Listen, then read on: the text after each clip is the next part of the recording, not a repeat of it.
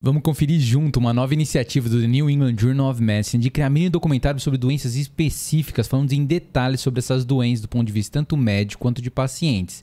E vamos ver o primeiro vídeo liberado, que é a respeito da doença hereditária e genética mais comum no Brasil, anemia falciforme. Vem comigo! Boas-vindas para todo mundo. Meu nome é Lucas Nobre, aqui no canal de Fala sobre Medicina, temos saúde e impacto sobre todos os nossos pacientes. Vamos conferir então essa nova iniciativa aí do New England. Uh, eles publicaram um artigo, né? Todos os links depois vão ficar na descrição, tanto dos vídeos que a gente vai conferir quanto dos links aqui dos artigos. O Doubling Down on American Median, em setembro, 28 de setembro de 2022. Vamos traduzir aqui para ficar mais fácil a gente conversar, né? Então é dobrando, né? A tradução não ficou muito boa, seria dobrando a aposta em um meio de comunicação médica. Eric Rubin, Mary Beth, Darren, Christine, Jennifer, Stephen, todas essas pessoas aqui, elas são uh, membros do grupo editorial, os editores da revista New England. Então, nesse artigo aqui, publicado recentemente, aí no dia 28 de setembro, eles falam, né, que o objetivo do New England sempre foi fazer publicações que tivessem um impacto grande na área médica, mas sempre foram feitas no formato de texto, no formato de escrita, né? Que antigamente só existia esse formato para você transmitir informações no meio médico, através de uma revista física entregue na casa das pessoas. Mas hoje em dia as pessoas obtêm muitas informações na internet, por meio de sites, por meio de informações de imagens, e um dos meios que existem é o meio digital, principalmente por meio de vídeo.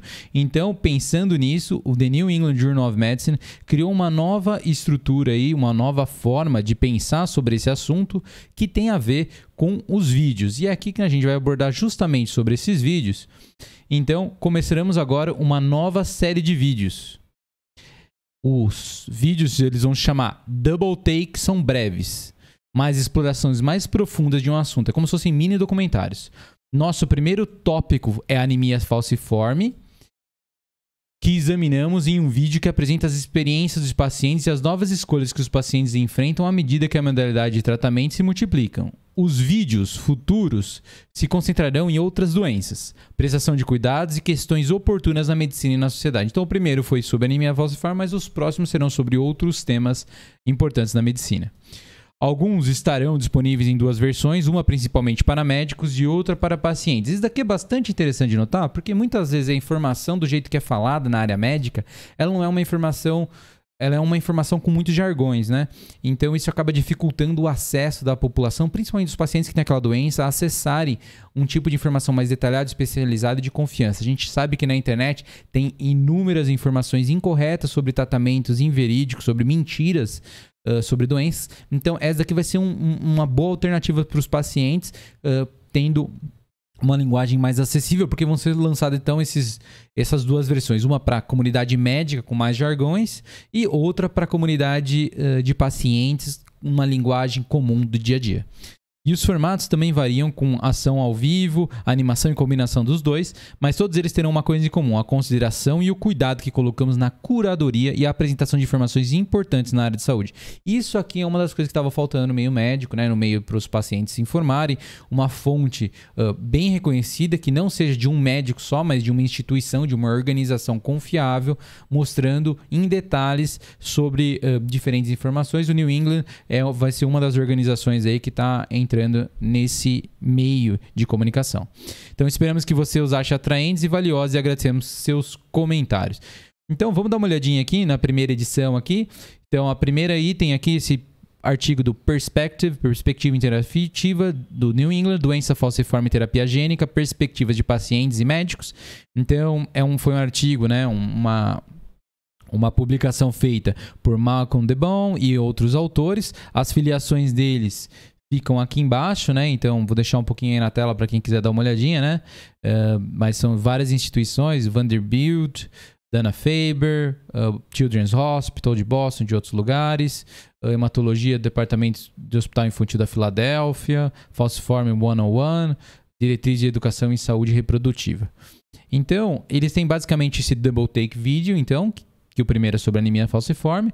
E aqui vamos dar uma olhada do que, que tem a descrição dele. Nesse pequeno documentário no New England, pacientes e médicos fazem parceria tanto para destacar a experiência de viver com a doença falciforme, quanto para discutir a fisiopatologia, o funcionamento, como que acontece a doença, novas estratégias de tratamento, incluindo a terapia genética, terapia gênica. Os pacientes compartilham suas próprias histórias de interações com o sistema de saúde e exploram os tópicos desafiadores da disparidade racial e equidade em saúde. Os médicos expressam um otimismo cauteloso ao revisar os riscos e benefícios da terapia gênica. Então, esse daqui é o vídeo Double Take, essa foi a descrição sobre ele, é um mini documentário, mas agora vamos direto lá pro mini documentário propriamente dito. Vamos acompanhar, vamos aprender junto sobre esse tema. Então, um, dois, três e vamos lá. Thank you. Então aqui a gente está no mini documentário do New England, a tradução, a legenda tá automática aqui para a gente conseguir acompanhar de uma forma mais fácil. Uh, meu objetivo aqui é fazer alguns comentários, mas não como especialista das doenças. Eu não sou especialista nessa doença. Uh, como formação, minha formação médica, eu tive noções, obviamente, atendi pacientes uh, durante o curso e até mesmo depois, trabalhando na área médica mas eu não sou nenhum especialista, então aqui eu vou estar aprendendo também, vão aprender junto com esse uh, vídeo do New England Journal of Medicine. Então, meu objetivo aqui não é uh, entrar em detalhes na terapêutica, detalhes da doença, uh, porque eu nem conseguiria fazer isso, mas sim a gente aprender um pouco e verificar o que, que é então esse double take do New England e qual que é o, o objetivo desse, dessa, desse novo documentário. Vamos ver se a gente acha interessante. Então, sem mais delongas, vamos lá.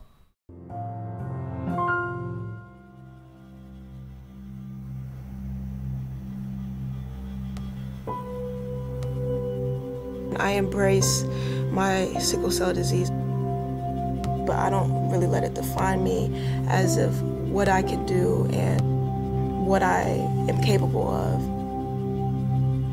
On the outside, I look fine and I look normal, but on the inside, I'm not.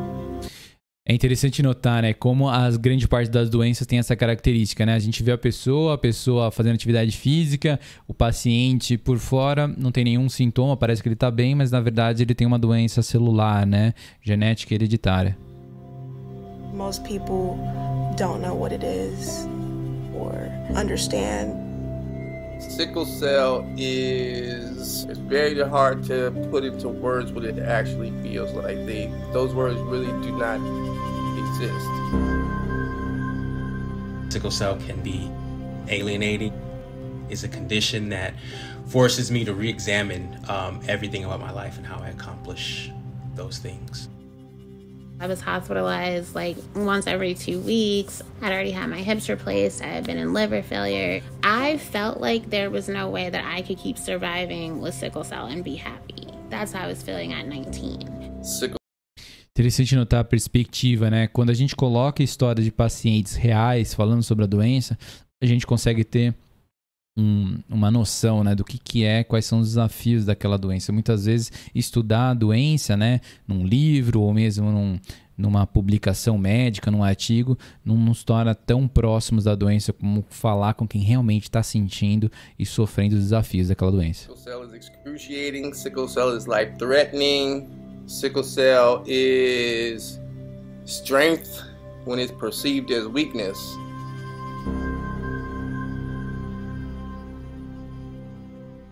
Então aí, sickle cell disease é a mesma coisa que falar de doença falciforme, tá?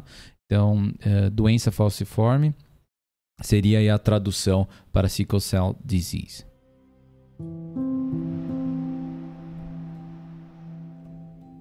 In middle school, I did a science project and I looked up sickle cell and I found the life expectancy was 42 years old. When I saw that stat, my stomach dropped. You come across a lot of information that it's heavy information. To stay sane, you kind of have to just put it off to the side and you say, that's not for me, that's not my statistic, and just keep living your life. Interessante notar como as informações podem impactar tanto positivamente quanto negativamente, né? A, nossa vida e a forma com que a gente recebe essa informação é específica para cada paciente, para cada um de nós, né? Within the sickle cell community, a lot of us are left to navigate this complex genetic disorder. and that's that's really hard. Imagine your doctor discovering that you have a life threatening disease, but then telling you that there's no reason to panic because they can fix it simply by editing it out of your genes and DNA. Are you daring to say there's a cure for sickle cell anemia? You know, sickle cell in the mainstream is huge, it's big for us. Interessante notar, né? Porque essa doença genética e hereditária é mais comum no Brasil e a maior parte das pessoas, né? A maior parte da população provavelmente nunca ouviu falar sobre essa doença. Uh, a menos que tenha feito algum curso na área de saúde ou tenha algum paciente, familiar, parente com essa doença, provavelmente você nunca ouviu falar, mesmo sendo uma doença uh, extremamente comum aqui no Brasil. New treatment for sickle cell anemia uses Lembrando que é comum nessa, nessa, nesse subgrupo né, de doenças genéticas e hereditárias. The evolution of gene therapy has always included consideration of sickle cell because it's a fairly simple monogenic disorder. Então, interessante, né? Então, aí a gente tem uma hemácia é, na tela e agora a gente vai ter uma perspectiva mais da, da área médica, né? Red blood cells are like a disc, almost like a frisbee, if you will. And in sickle cell disease, what happens is the hemoglobin molecules inside that cell snap together like Legos. And when they do that, they can change the shape of that cell from a frisbee to a more sickle form, a banana shape or curved shape, which is what the disease gets its name from, of course. Então, a anemia falciforme, né, a doença falciforme, a anemia falciforme que está relacionada à doença, ela tem a ver com esse formato aí da, das hemácias que parece uma foice, né? Uma foice, uh, aquele instrumento agrícola, né? Utilizado em forma de C, né? Because the red blood cells are that crescent shape, they don't live as long and they don't carry oxygen very well. A shortened red blood cell lifespan results in a cascade of events occurring in the body chronic anemia, severe pain, strokes, fatigue, decreased lung function, kidney function, heart function, and ultimately for the adults, a decreased lifespan. In the last decade, there's been an explosion in the options to cure sickle cell disease. The science is as elegant as it gets in human work. That you can take somebody's cell, fix that person's cell, put that cell back into that individual, and they're going to be cured of that disease. That is just a beautiful concept that we all dream about. Então é interessante notar né, como a evolução da, da ciência nos ajuda a tratar as doenças e, e, mudar, né? Tentar mudar aquela perspectiva que aquela paciente comentou no começo, né? De ter tido a informação de que a média aí, ou a mediana de vida estava em ao redor dos 42 anos. This is a completely new way of thinking about sickle cell and engaging patients in these conversations is so important. That discussion is not a four-hour discussion. That discussion is over years because it's experimental therapy and the information is evolving. There's a role for this expensive, more scientifically amazing curative type therapies. But also, we must focus on eliminating the disease burden in a broader population. Within the US, there's 100,000 people living with sickle cell disease. Globally, there are around 20 to 30 million people living with sickle cell disease. Lembrando que a doença genética hereditária mais comum no Brasil. Sickle cell disease has sub-Saharan Africa as its epicenter, as well as the Middle East, India, and countries around the Mediterranean because of the high density of malaria. Individuals who had sickle cell trait were protected from developing life-threatening malaria. And so, as a result of evolutionary pressure, these are the regions that have the highest density of sickle cell disease. Então, aqui um conceito evolutivo, né, que foi explicado para aquele doutor, aquele médico, é de que é, nessas regiões as pessoas têm mais é, a doença falciforme, né, e um dos motivos tem a ver com uma pressão evolutiva, né. Como tem uma malária endêmica nessas regiões, né, principalmente no continente africano, em algumas regiões, você tinha que as pessoas que tinham uh, doença falciforme, elas não eram tão infectadas pela malária. E, consequentemente, ao longo dos milhares de anos né, da evolução da espécie humana, essas pessoas elas foram as que sobreviveram à malária porque tinha o mosquito, né, na verdade, a malária, né, tinha dificuldade de se reproduzir e de atingir o paciente que tinha doença falciforme. Como consequência, as pessoas que tinham anemia falciforme, doença falciforme, elas tiveram mais filhos, estavam mais aptas a sobreviver e ao longo dos milhares de anos da evolução da espécie humana, elas foram se reproduzindo e assim por diante, ao longo do tempo, começaram a tornar a população com doença falciforme mais prevalente. And then because of forced migration, enslavement, you have populations with sickle cell disease all over the world. E aí depois, né, com as questões históricas, infelizmente, relacionadas a, a, a pessoas que foram escravizadas eh, ao longo do, do tempo e no mundo, essa doença e as pessoas, né, eh, casando, tendo filhos de diferentes eh, origens, acabou fazendo com que essa doença se espalhasse pelo mundo. The reality is the majority of children and adults with sickle cell disease do not get the level of care that they need, even in high income countries. Isso daqui é algo que não é tão intuitivo. A gente acha que nos melhores países, em termos de renda, né, os países de renda mais alta, que as pessoas vão ser super bem atendidas para qualquer doença. E aqui está se falando, mesmo países de alta renda, anemia falciforme, muitas vezes os pacientes não são bem tratados e cuidados adequadamente.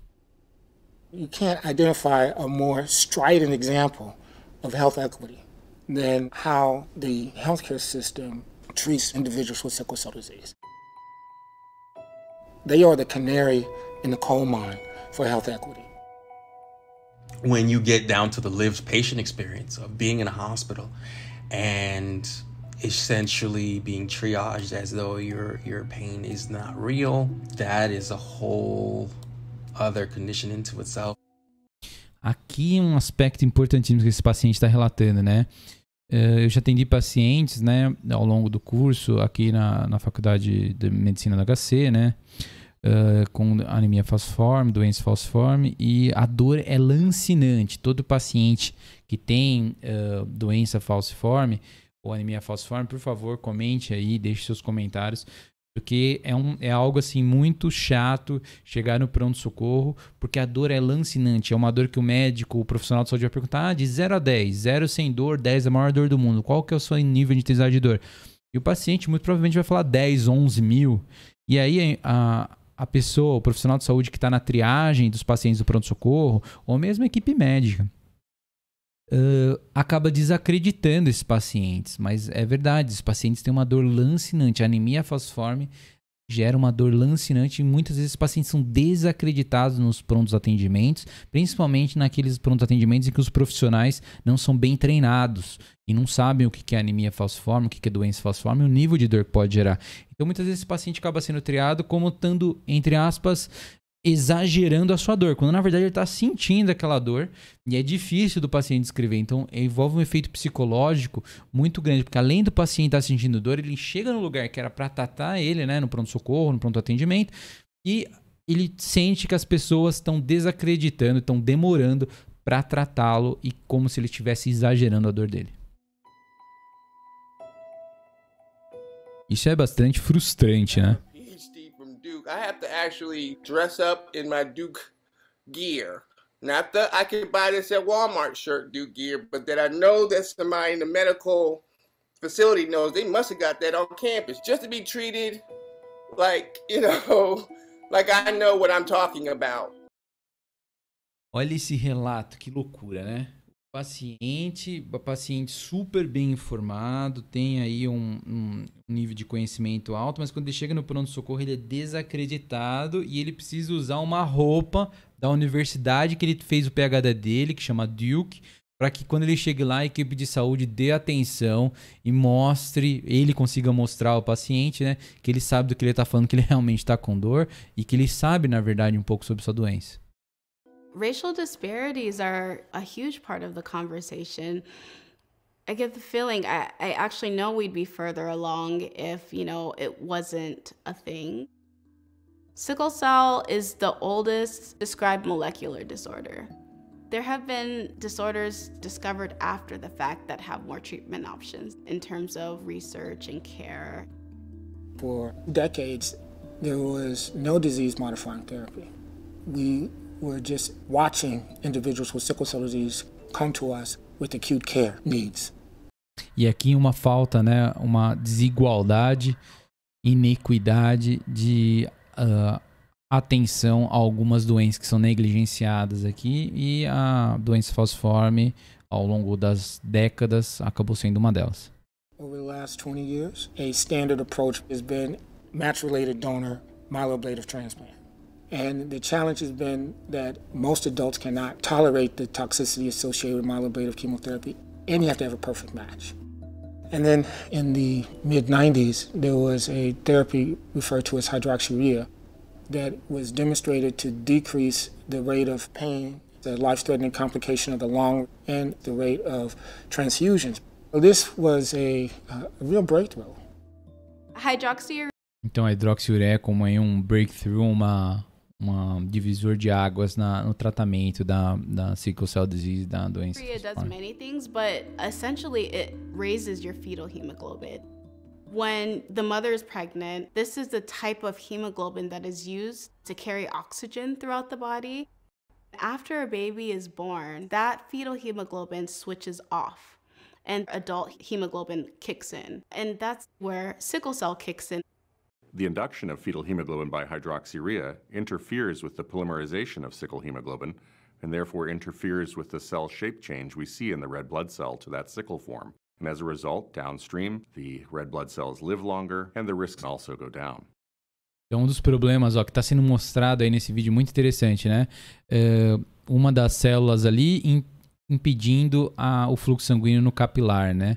Então é isso que está sugerindo, pelo menos, esse pequeno trecho desse vídeo ali, a gente pode ver que o ramo da direita indo para cima na tela, né? Ele está impedido aí por um grupinho ali de anemia de células falciformes, né? Essas hemácias aí com uma, uma um formato de, de foice. The other part of the story and what's being researched. E ó, dá para ver bem nesse vídeo como ali tá tá formando uma aglomeração, né, impedindo o fluxo das células. Increasing fetal hemoglobin through gene therapy. Many are celebrating the early successes of gene therapy. It is certainly something that has given many families great hope. But it's always important to be sure that we are being transparent about what we know. Gene therapy is not without risk. Aqui entra algo muito importante que esse tipo de documentário do New England pode acrescentar. Muitas vezes, quando novas terapias eh, são eh, estão sendo descobertas, em desenvolvimento de descoberta, né? Existe um período longo de teste, de pesquisa uh, robusta que deve ser feita para a gente conseguir afirmar que aquele tipo de tratamento é adequado e realmente traz mudanças. E quais são os riscos relacionados àquele tipo de tratamento. Então, no caso do sickle cell disease, aí, da doença falciforme, a terapia genética é uma dessas alternativas de tratamento que estão sendo estudadas. Só que a gente tem que tomar cuidado, porque muitas vezes aparecem profissionais ou médicos, médicas que colocam aquela nova terapia como sendo um grande elixir de solução, um emplasto para resolver, mesmo sem existir a evidência científica ainda sobre os benefícios e os malefícios. Então a gente tem que tomar muito cuidado quando a gente vê um médico, uma médica ou qualquer outro profissional de saúde falando que existe uma grande bala de prata, uma grande solução para uma doença, quando as pesquisas robustas sobre a eficácia e sobre o lado ruim também, sobre os malefícios e os riscos daquele tratamento, ainda estão em estudos. E acredito que seja sobre isso que esses documentários sobre doenças específicas do New England vão poder colaborar, porque vão poder mostrar que, na verdade, infelizmente, muitas vezes não existe um tratamento perfeito para as doenças, mas existem tratamentos bons e que têm que ser pesquisados, mas que carregam sim riscos e malefícios. It still requires that the patients undergo myeloablative chemotherapy to make space in the bone marrow for these corrected stem cells. Chemotherapy is associated with a number of complications, including a risk of cancer and infertility. De novo, então, né? Aí os malefícios que podem estar associados a um tratamento que estão em pesquisa. What I hear from adults is I really don't want to be infertile. I really want a lot of children, but I don't want to die from this disease. And so it's a conversation about risk benefits, and I think it's incredibly personal. There's a lot of excitement in the community at the potential of innovation and what it could mean, but there's also a concern. We definitely want to make sure we fully understand those risks and, and what the impacts may be for our lives beyond the treatment itself. Não é fácil, né? Uh, você ter a doença, os avanços científicos a serem feitos, sempre deve dar aquela impressão de que os avanços não, não estão sendo feitos na velocidade necessária, né?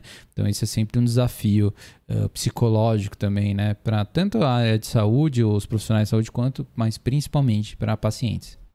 Things are changing within the landscape for the better. I firmly believe that we have to be able to provide multiple options for a disease that is so multifaceted. We need all these issues addressed in tandem with each other, right? So so that nothing gets left behind.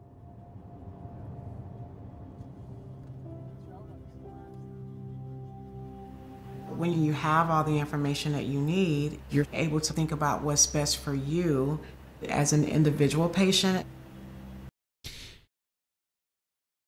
ter a informação que é necessária para tomar uma atitude com o paciente, né? Isso é algo fundamental, principalmente nas doenças que muitas vezes são negligenciadas ou que você só alguns especialistas conhecem em detalhe aquela doença.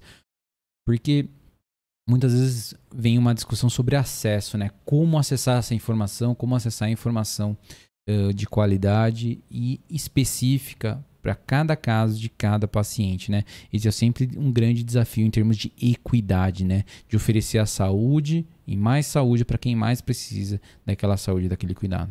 I think that's the most important part. The thing that keeps me going is my family and just who I am. I feel like I just always tell myself like don't let myself just completely fall down. Don't let myself just completely not make it. No. We're not we're not gonna do that we're not gonna do that. Individuals with sickle cell disease are whole people. I think now that thanks to advances of science and the resilience of the community, now that we are surviving well into adulthood, we're realizing that survival is no longer enough. Aqui entra algo interessante também, né? Como aquela, aquele diagnóstico, aquele prognóstico, né? De que só viveria até 42 anos de idade, né? Isso agora, viver mais, chegar à vida adulta, coisa que não acontecia no passado, mas que agora já acontece, ter filhos. Antes não era possível, agora já é possível, mas mais do que isso, né? As pessoas, o avanço da ciência, o avanço dos tratamentos para uma doença envolve a gente continuar com foco no desenvolvimento de novas terapias, de novas soluções, para que a gente consiga expandir a qualidade de vida dos pacientes.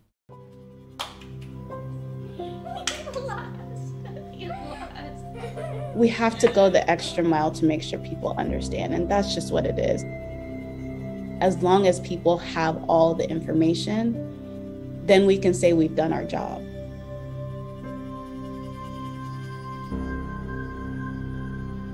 Aqui os contribuidores, então, para os editores do New England Journal of Medicine. Bom, muito interessante, né? Acho que esse primeiro aí, esse primeiro trecho, esse primeiro uh, esse primeiro vídeo do, do, do, New England fala de uma forma rápida, né? Aí um total é de cerca de 11 minutos e meio sobre o que é a doença e sobre algumas perspectivas diferentes, né? Ele é como se fosse um trailer, né? Ele dava é um mini documentário mesmo, não fala tudo sobre a doença, sobre o tratamento, mas ele dá aquela vontade de quem é da área saber um pouco mais sobre aquela área e quem nunca ouviu falar aprender sobre uma doença nova que talvez nunca entra, tenha entrado no, no radar, né?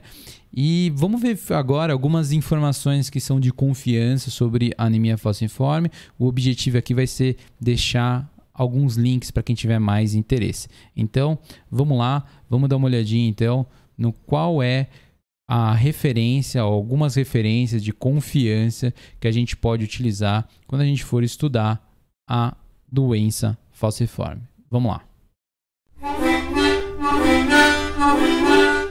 Então esse site aqui, ele é o site do NHS, né? É, que é o sistema de saúde inglês da, do Reino Unido, e fala sobre a visão geral sobre anemia falciforme. Essa versão aqui está traduzida, tá? Então, a doença falciforme, as doenças das células falciformes é o nome dado para um grupo de condições de saúde hereditárias que afetam os glóbulos vermelhos. O tipo mais grave é chamado de anemia falciforme. Então, fala sobre os sintomas da doença, causas da doença, triagem e teste para fazer a doença, tratamentos para a doença disponíveis. Fala sobre as perspectivas né, de tratamentos futuros falando um vídeo também, um mini vídeo sobre a doença falciforme, portadora de células falciforme, grupo de apoio e assim por diante, né? E ele continua. Então, vou deixar o link na descrição para quem tiver interesse.